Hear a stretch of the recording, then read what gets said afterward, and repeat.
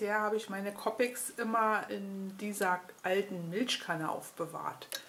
Aber damit ist jetzt Schluss und wie und wo ich sie jetzt aufbewahre, das zeige ich euch. Herzlich willkommen zu meiner Farbexplosion. Das ist mein Beitrag für den Contest der lieben Semifilm, der da hieß Farbexplosion. Ja, ich zeige euch mal jetzt erstmal meine Farbexplosion. Und zwar, da ist das eine Aufbewahrungsbox für meine Copics Stifte, für meine Copic Stifte. So, und jetzt zeige ich euch die nochmal im Einzelnen. Und zwar hier oben seht ihr diese wunderschöne Schleife. Die habe ich euch letztens auch schon in einem Haul gezeigt. Die habe ich unterwegs gesehen und musste sie sofort kaufen, weil die mich sowas von erinnert hat an diese Farbexplosion. Ja, und da ist sie nun. So, ansonsten habe ich die Box oder den Deckel vielmehr noch verziert mit, ich nenne sie immer meine Die Cuts. Das sind Stempelabdrücke, die ich mit den Copics ausgemalt habe, mit Klarlack überzogen habe, dann noch ausgeschnitten mit der Schere und das ist hier noch mit so einem Perlenmaker aufgesetzt. Ansonsten habe ich mir letztens mit meiner Silhouette Cameo diese süßen Schmetterlinge ausgeschnitten und die habe ich allerdings noch mit schön viel Glitzer bemalt und verziert. Ja, dann habe ich hier oben nochmal so ein, ähm, eine Blüte. Allerdings habe ich hier noch eine Glitzerblume draufgesetzt. Ansonsten gibt es noch Halbperlen. Hier noch einen, einen weiteren Schmetterling, äh, den ich auf diese Weise gemacht habe. Ich habe die Schmetterlinge auch nur so am Bauch, sage ich mal, angeklebt, damit man sie so ein bisschen 3D-mäßig aufpuffern kann. Und das ist eine ganz normale Blüte, die ich kaltgelb angemalt habe. Ja, am Rand gibt es noch ein paar Schmetterlinge mehr und noch ein paar Halbperlen, die sich da herumwinden. Und noch ein paar Blümchen hier, mit, auch mit Glitzersteinchen verziert. Hier ist noch ein kleiner Schmetterling. Ja, und hier ist dann der letzte Schmetterling. Auch der ist mit... Äh, den Copic-Stiften ausgemalt und ausgeschnitten. So, ansonsten kommen wir mal zur Box. Die Box habe ich auch, um beim Thema zu bleiben, äh, verziert mit Stempelabdrücken, die ich mit Copic-Stifte ausgemalt habe. Und dann noch, wie ihr seht, auch es glitzert so schön, mit Klarlack überzogen habe. Ich finde es eine ganz gute Sache. Das macht die unheimlich stabil und ja, rubbelt sich auch die Farbe dadurch nicht ab. Also sehr haltbar und ich finde es sieht doch noch ein bisschen besser aus. So, dann drehen wir mal die Kiste. Hier ist der nächste Stempelabdruck, der mit Copics ausgemalt wurde. Auch das ist ein Stempelabdruck. Und auch der kleine hier dann nochmal gedreht. Gibt es hier nochmal einen Stempelabdruck, der mit Copics ausgemalt wurde. Und diese kleinen Cupcakes sind auch Stempelabdrücke mit Copics ausgemalt. Und die habe ich jetzt nicht mit Klarlack überzogen, sondern mit Glossy Accent. Was ich auch sehr, sehr toll finde. Die sind dadurch irgendwie so ein bisschen dicker. Kann ich gar nicht so beschreiben. Aber natürlich, ja, für so große, große Stempelabdrücke kann man das Glossy Accent, glaube ich, nicht so gut benutzen, weil es ist ja wohl so ein kleines Fläschchen. Ja, auch hier natürlich ein Stempelabdruck, der ausgemalt wurde und mit Klarlack überzogen wurde. Selbes System. Und noch ein kleiner 3D-Schmetterling. So, dann mache ich die Box mal kurz zu und zeige sie euch nochmal von außen. Das ist jetzt die Vorderseite der Box. Wie gesagt, hier mein ähm, Stempelabdruck, mein Die-Cut nenne ich ihn mal, mein Schmetterling. Und das sind die kleinen Blütchen, die habe ich letztens ja geschenkt bekommen. Die sind ganz, ganz filigran, total süß. Ich hole sie mal ein bisschen ran. Also super, super schön. Ja, und ansonsten habe ich jetzt hier einfach nur noch Papier, verschiedene Papiere äh, aufgesetzt.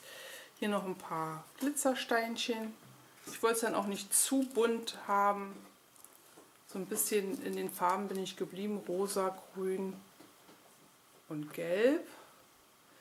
Ja, hier ist nochmal Papier halt, der Schmetterling. Erst hatte ich die ganze Box ja weiß angemalt, aber ich habe mich dann doch für gelb entschieden. Es passte einfach besser zu den ganzen Papieren und habe dann nochmal sozusagen die Box übermalt. Das ist die Rückseite. Auch hier habe ich gar nichts weiter drauf gesetzt. Ich wollte es dann, wie gesagt, nicht zu sehr übertreiben. Und nochmal diese Seite. So, jetzt habt ihr auch noch alle vier Seiten gesehen. Ja, das ist meine Farbexplosion, die als Aufbewahrungsbox für meine Copic-Stifte, ja, die eine Aufbewahrungsbox für meine Copic-Stifte ist. Und das Gute ist, ich kann die Box auch ähm, hinlegen und zwar vorlieblich natürlich so rum und es bleibt auch zu. Dann finde ich nämlich besser, dann sind, liegen die Copic-Stifte und ähm, die Farbe verteilt sich gleichmäßig im Stift und läuft nicht nach unten oder nach, ja, nach unten aus. Ja, das war meine Farbexplosion. Äh, Im Anschluss seht ihr jetzt noch ein bisschen zwischendurch, was ich zwischendurch mal gefilmt habe, wie ich angefangen habe mit der Box und so weiter und so fort, wie ich sie gebastelt habe. Viel Spaß dabei noch. Bis denn, tschüss. Hallo meine lieben Bastelfreunde. Das ist mein Beitrag für den Contest bei der lieben Sammy Finn. Ähm, dazu muss ich sagen, ich hatte eigentlich schon eine ganz tolle Idee. Habe die auch schon angefangen und die ist auch schon zur Hälfte fertig.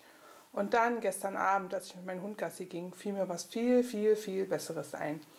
Und das ist der Anfang dazu. Und wenn ihr gerne wissen wollt, was daraus noch wird, dann müsst ihr dranbleiben. Tschüss!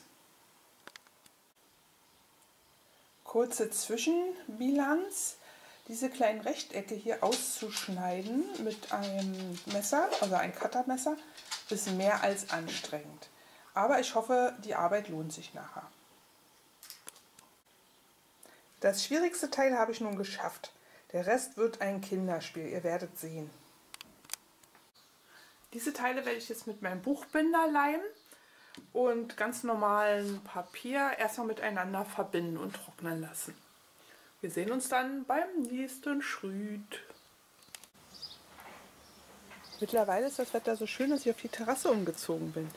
Jetzt möchte ich diesen Rahmen, den ich mir gebastelt habe für die einzelnen Stifte, äh, noch mit so einem Klebeband umkleben, damit er ein bisschen stabiler wird und auch, ja, ist abwaschbar. Gut, ich werde nicht abwaschen müssen, aber dadurch ist er natürlich nicht so schmutzempfindlich. Ja, das ist jetzt ein bisschen frickelig, aber weiter geht's. Jetzt habe ich erstmal die vier Seiten gebastelt und angebracht, die nachher runterfallen, wenn man den Deckel anhebt. Und zwar so. Und ähm, ja, werde jetzt natürlich den Deckel dazu basteln. Und dann sehen wir uns also gleich wieder. Ja, wundert euch nicht über die Nebengeräusche. Ich sitze auf meiner Terrasse und rundherum sind die Leute auch in ihren Gärten. Also, bis denn. Tschüss. So, jetzt ist ja erstmal soweit fertig, die Box. Jetzt wird sie gleich erstmal einmal komplett grundiert. Und so funktioniert sie erstmal. Zack. Und man kann sie auch relativ gut schließen, indem man das so macht. So, so. Box ist zu. So, ja, jetzt werde ich sie wie gesagt erstmal einmal komplett grundieren und dann noch ein wenig verzieren. Und hier müssen wir noch ein bisschen nachkleben. So, bis später. Es sind leider ein paar Tage vergangen. In den letzten paar Tagen hatte ich nicht so die Zeit zum Basteln. Ähm, ja, hier ist erstmal die fertige Box weiß angestrichen. Ähm, jetzt wird sie natürlich noch erst bunt gemacht. Im Moment ist sie ja noch so langweilig und weiß. Aber ich wollte mal kurz einen Zwischenstand zeigen. Das ist wie gesagt jetzt die Box. So, die verschließt man dann auch, indem man einfach den Karton hier drüber stülpt. Und er passt eigentlich auch. Ja. ja. Und ja, das ist jetzt erstmal die bislang noch recht langweilige Explosionsbox für meine ähm, Stifte. Ja, wie es weitergeht, beziehungsweise wenn sie dann fertig ist, zeige ich es euch natürlich noch. Bis Danny!